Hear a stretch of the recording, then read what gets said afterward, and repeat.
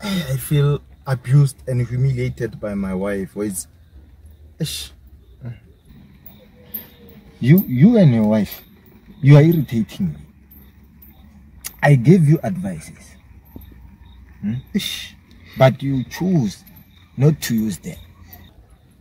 Spiritual, you must understand that I'm a married man. It's not about me. It's about my relatives. We brought families together, my